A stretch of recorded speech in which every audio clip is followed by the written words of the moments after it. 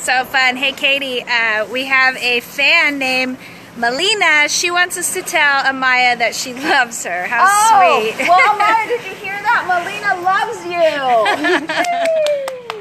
Very sweet.